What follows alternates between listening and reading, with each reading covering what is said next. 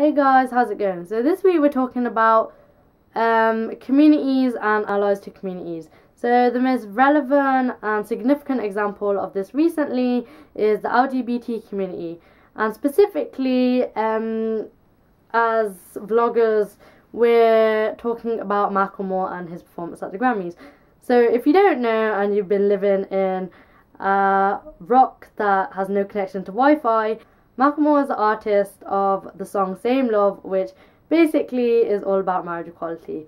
And unfortunately, a lot of gay people, in particular in the LGBT community, have been saying that Macklemore, as a privileged white straight male, should not have these views or should not have a say.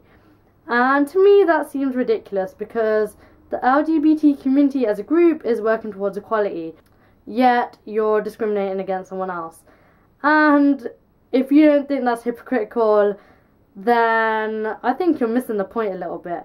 I mean, why does a group have the audacity or the right to exclude someone else from their community if they're being excluded themselves from main, main society? Like, what in the minds of these people makes them think by dismissing Macklemore that will help their fight towards equality because it won't, and that's the truth.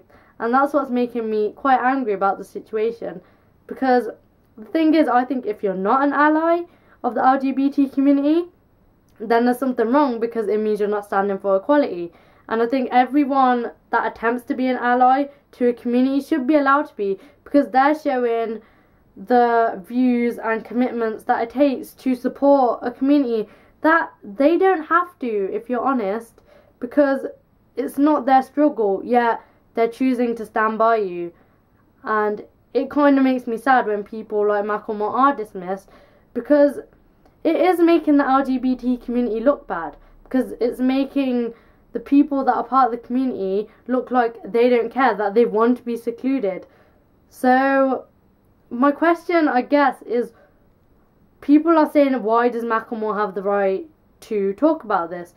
And I say, why not? Because honestly, it should be a free world. We should be able to support equality if we want, whether it's the equality of our people or not. And yeah, that might sound a bit stupid to some people, but it really just is my view, and it does make me sad that people um, in the LGBT community are not saying particularly nice things about Macklemore. And it seems kind of shitty and very stupid, if you ask me. But yeah, I don't know. If you guys don't agree with me, please comment below about why not, because I'd like to have a discussion about this. But if you do agree with me, please give this video a big thumbs up, because I appreciate it a lot. Subscribe to the channels, and definitely check out my fellow vloggers' videos. Um, yeah. So, I'll see you guys next Friday. Have an awesome weekend. Bye.